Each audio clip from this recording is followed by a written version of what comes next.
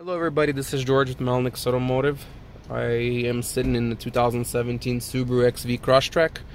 I want to show you how you could do a couple cool things. Um, how to put the radio, if you have this style radio on any Subaru, into a Subaru service mode.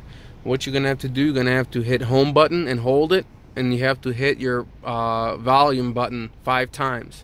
And then to get it out, you have to hold home button and hit the volume button two times. I'm gonna demonstrate it. So I'm holding camera with one hand. I'm gonna use my thumb. I'm holding home and then watch.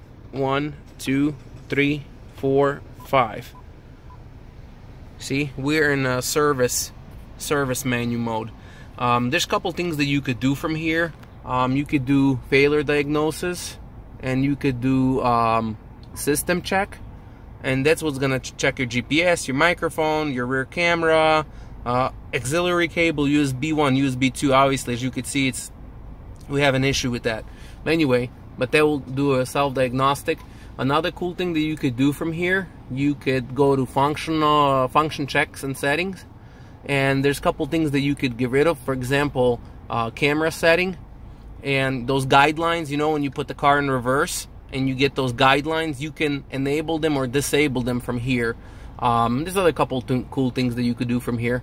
But I just wanted to show you how to get into that service menu. In order to get out of the service menu, because it's going to be on here, you want to hit home button, hold it, and hit the power button two times. One, two. And what's going to happen, it's going to reload the radio again. There you go. I agree. So we're back to normal, uh, back to normal home screen, navigation or whatever.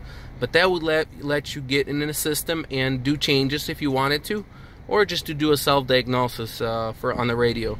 Uh, once again, thanks for watching. This was George with Melnik's Automotive.